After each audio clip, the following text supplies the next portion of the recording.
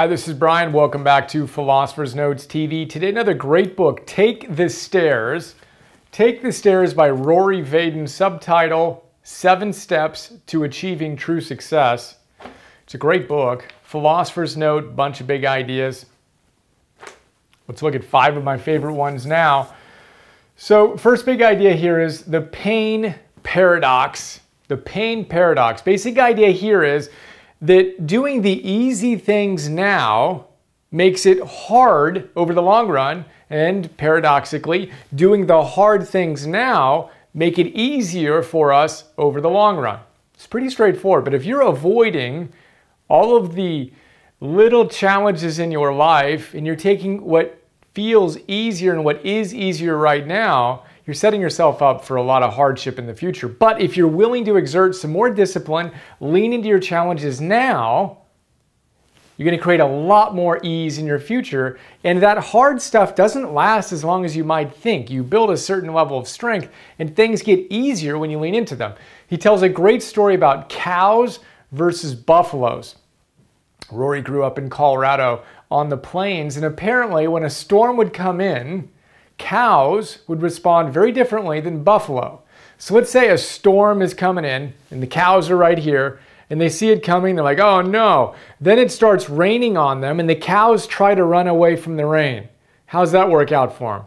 Well, the rain follows them. They can't outrun it, so they stay under the rain for a long time, right? Because they're trying to run away from their problems, if you will to use the metaphor. Now, the buffalo, on the other hand, see the same storm coming and they say, ah, interesting, we're going to wait until this goes over the peak, the crest of a peak of a mountain, and then we're going to charge at it. We're going to go head straight at the storm. So the storm's approaching, and then they run, charge right at it, and run through it. The storm passes, and they spend a lot less time underneath that rain than the cows who tried to avoid the challenge. They ran straight at it. It's a great idea. Pain paradox, bring it on, the tools guys say. Quit avoiding things and lean into it, and you'll surprise yourself by the power you have. In the note, I share a story about Paul Bunyan. In his Pilgrim's Progress, he has a character who has a shield that makes him invincible. Only caveat is, the shield will make him invincible provided he heads straight at his challenges. If he runs away and goes the other way, he's vulnerable. But if he heads straight at his challenges, he's invincible. So think of that pain paradox. That's our first big idea. Second one is pretty fun. Are you a should head? A should head. You don't want to be a should head. Uh, Rory has a, in his seven strategies, the first one was the pain paradox. Second one is commitment. Commitment. And he says, look, you can either be really committed, 100%, or less than 100% committed. Now, if you're 100% committed, you're all in, you're going to do it. If you're less than 100% committed, you're asking yourself way too often, should I do this? So if you're meditating or you are committed to exercising or whatever it is, but you're not quite 100% committed, you are a should head. You're asking yourself constantly, should I meditate today or should today be the day off? Should I post my blog like I said I would or should today be the day that I take off? Should I, should I, should I? You are a should head, right? But if you're in this domain, you're not asking should, you're asking how. How do I get my meditation done today? I have a busy day. How am I going to get it done? Not should I get it done, how do I get it done? It's a huge distinction we want to quit being should heads. That's our second big idea.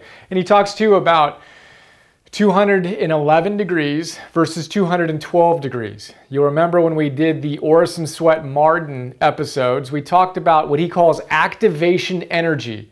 There's a huge difference between 211 degrees and 212 degrees. At 212 degrees, water boils. You can do stuff with boiling water. Steam can power locomotives and boats. It's amazing. 211 degrees, although hot, in fact very hot, it's not the same as 212 degrees. That one degree makes a huge difference. That one degree is what gives us true commitment. There's a huge difference between 90% committed, 92% committed, 99% committed, and 100% committed. We want to go to that last percent, non negotiable. Makes your life, again, paradoxically, much easier. Third big idea focus is power. Focus is power. When I journal, I often draw this, which represents to me all the things I could do and focusing on this particular outcome, that particular task or set of things that I'm going to do. And Rory talks about a magnifying glass. I like to draw in my journal a little magnifying glass, right? Here's the sun. And there's a focus point that comes that you can burn a piece of paper. Now you can set that piece of paper on a the asphalt on the street on a really hot day and nothing will happen because the sun's rays are diffused. But if you come in between the sun and that piece of paper and you hold a magnifying glass precisely, you can't just hold it, you've got to actually focus the sun's rays, you can burn that piece of paper. It's the same thing with everything in our lives. We need to focus our thoughts, we need to focus our energy on what's important to us. Quit distracting ourselves, quit diffusing our energy, and focus. There's tremendous power in focus. We're going to talk about that some more. Rory's second book, which I read the day after I read this book, is called Procrastinate on Purpose. In that one, he actually has what he calls a focus funnel, where you take all the things you could be focusing on and you figure out what you want to concentrate on. We'll talk more about that in a little bit. But for now, remember, focus is power. If you're distracting yourself, how can you focus? Get on that, create your power. Fourth big idea here is Mr. M. Mr. M. What's the M for? Mediocrity. Mediocrity. Mr. M is a voice in your head that's committed to slowing down your momentum. You may have noticed you're constantly chit chatting with yourself. There's a more positive version of you, and then there's the less positive version of you. Rory says that Mr. M is, is tiny, he's almost invisible, but he has a huge mouth. And he goes on and on and on and on and on. Mr. Mediocrity is constantly telling you all the things that you can't do and all the shortcomings you have that are limiting your potential. Rory says unequivocally, we need to silence Mr. M. And the way he advocates doing that is by talking over him with positive self talk. You can't hold two thoughts in your mind simultaneously. So if you have a negative one coming to the megaphone with Mr. Mediocrity, cancel it out by thinking positive thoughts. And he says it may feel stupid when you start doing it. It might always feel stupid, but do it anyway. Successful people who get control of their mind do these things consistently. So, think of whenever, notice when you have that negative thought, and then have your array of positive thoughts you can insert. So if you're thinking, God, why did I do that? Or I, I did that again, I didn't want to do that, you're such an idiot, you're never going to get this. Whatever your negative banter is, Notice it, stop it, and say, I've got this. We're good. I'm learning. Needs work. I'm going to do it this way next time. We're good. And be strong in your mind rather than letting Mr. M take over the airwaves. Big idea. Fifth big idea is another good one visioneering. Visioneering, two words vision plus engineering. Vision, engineering. Visioneering, right?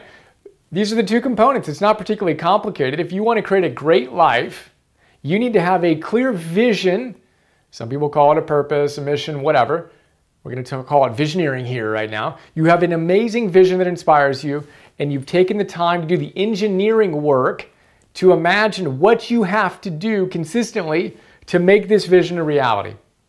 Who are you going to be? What fundamentals are you going to integrate into your life? Exercise, nutrition, proper rest, training your mind? What systems are you going to build so you can consistently show up and have masterpiece days? Vision, engineering, put the two together, you've got visioneering, and you've got a, uh, a recipe, a map for creating your optimal life. Do that, silence Mr. M when he inevitably comes on the airwaves. Remember, focus is power, that magnifying glass. If you've never done the experiment with a magnifying glass, I highly encourage you to go to Amazon, find a cheap magnifying glass, or wherever you go to find a magnifying glass and try it safely because you can and will burn things when you figure it out. We need to bring that attention to our lives. It's super powerful. Quit being a should head. If your commitment is over here, you are asking, should I? Oh, I don't know. Should I? Quit asking that. Ask, how do I?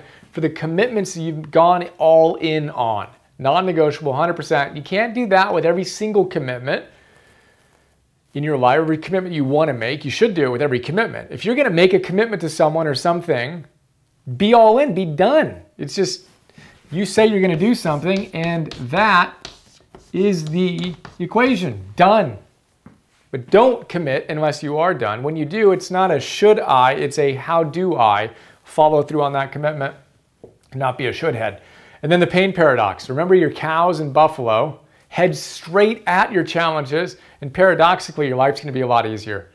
What was your favorite big idea? How are you gonna move from theory to practice? Get on that and have another awesome day. And people are telling me I should say more about what you can get as part of our membership, but we've got a link somewhere in around here. Click on that. You can join and get access to 250 Philosopher's Notes, six page PDFs, 20 minute MP3s, a bunch of micro classes. I create a ton of content that I don't share on YouTube. I obviously share a ton here. Um, we have a lot more. The response has been awesome. I appreciate all of you for your support, and I look forward to sharing more soon. Have an awesome day. See you.